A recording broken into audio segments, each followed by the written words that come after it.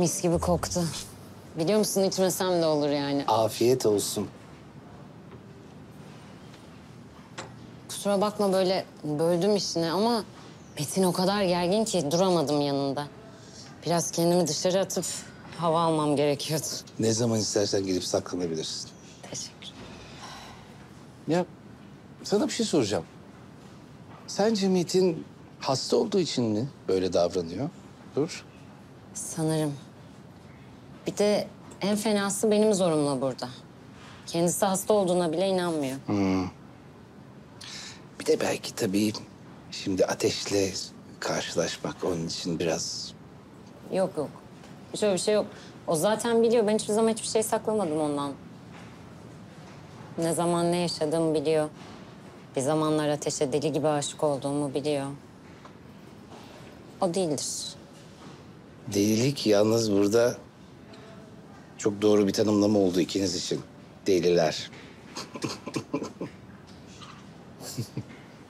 evet. Evet ya yani Metin anlayışlı birine benziyor herhalde. Geçmişi kafasına takmayacaktır herhalde. Ha? Ne var senin dilinin altında? Öyle bir... Yoksa sen Metin'in ateşle başa çıkamayacak kadar zayıf mı olduğunu düşünüyorsun? Yanılıyorsun. Metin tanımadığın için öyle söylüyorsun. Tanısan anlarsın. Ee, yok hayatım. ee, yok yok hayır. Onun için sormuyorum. Beni mi düşünüyorsun? Ya Orhan sen hep çok iyi bir adamdın. Teşekkür ederim. Merak etme ama. Büyüdüm ben artık. Ben öyle o eski kırılgan fidan değilim. Kabuğum sertleşti. Daha güçlüyüm.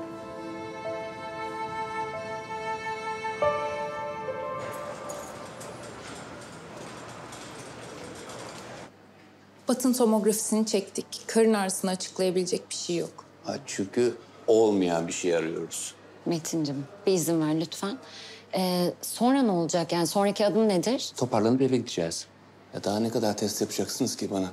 Normal hayatımıza dönebilmemiz için daha kaç doktor görmem gerekiyor benim? Bir.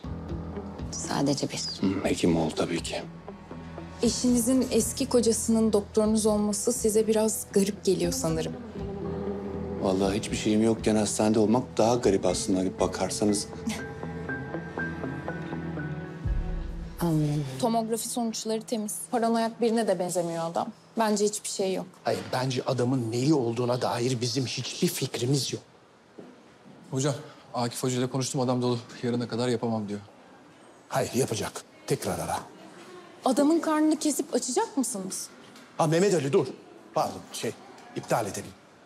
Zeynep Hoca teşhisi koymuş bile. Keşif cerrahisine falan gerek yokmuş. Ben öyle bir şey demedim. Ama adamın hasta olup olmadığından emin bile değiliz. Durum böyleyken cerrahi bir müdahalede bulunmak bana biraz acele ve sorumsuzca alınmış bir karar gibi geliyor. Acele ve sorumsuzca. Adamı bakım evine yatırmaya kalksak o aceleci olurdu. Ha, senin benim kararlarımın mantıksız olduğunu ima etmen o biraz sorumsuzca. Elimizdeki tek şey eşinin lafı. O da kocasının karnının ağrıdığını söylüyor. Hocam adam hasta olduğunu bile düşünmüyor. Böyle bir operasyona neden evet desin ki? Çünkü karısı bir avukat. Hem de çok ikna edici bir avukat. Akif Hoca'yı arayın. Ameliyatı ayarlasın.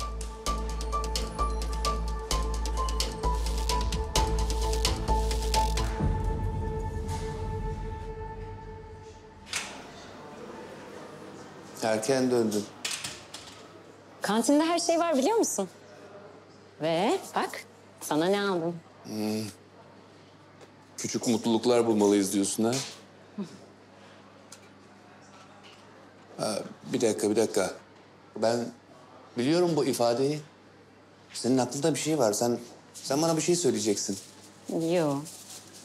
Sana hiçbir şey söylemeyeceğim. Tamam, tamam peki. Hadi dinliyorum.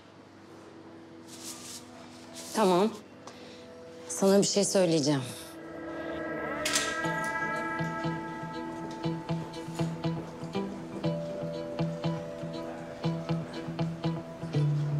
Ne oluyor? Olağanüstü bir durum mu? Yok. Bir dakika, bir dakika. Söyledin değil mi? İpek Hanım hocanın keşif cerrahisi yapacağını söyledi. Evet, birinin hocayı durdurması gerekiyor. Çünkü hoca sağlıklı düşünemiyor bence. Olabilir. Ama senin de ondan kalır yanı yok bence Zeynep.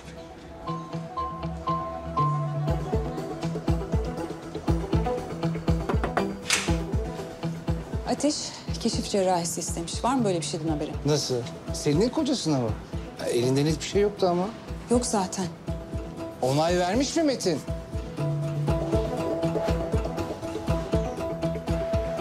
Hayır.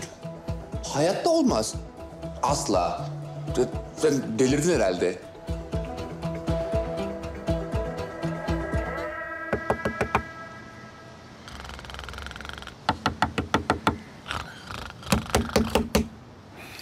Ateş.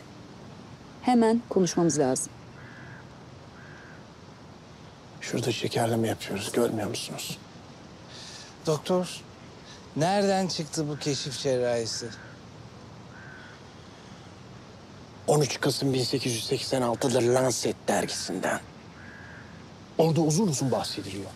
Keşif cerrahisinin faydalarından. Aslında tıpta devrim gibi bir şey. Diğer teknikler, testler tanı için yeterli olmayınca...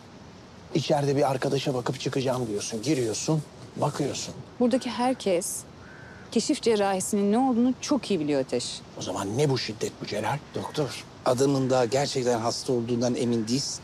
Karısı emin. Ne? Ateş yapma lütfen. Böyle bir sorumluluğu senin üstüne yükleyemezsin.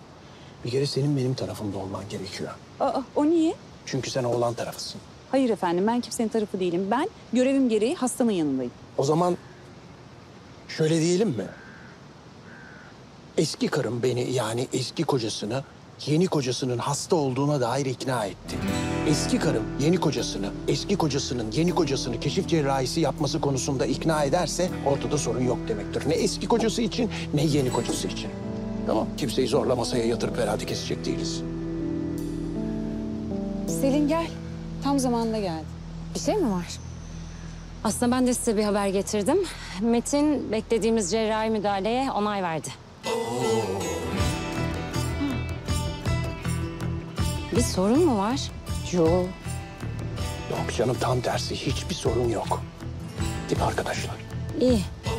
Tamam o zaman ben Metin'in yanında odadayım. Bir şey olursa haberleşiriz. Tamam.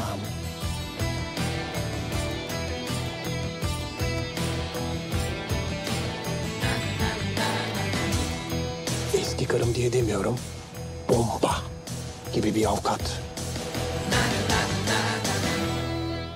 Kanalımıza abone olarak tüm videolardan anında haberdar olabilirsiniz.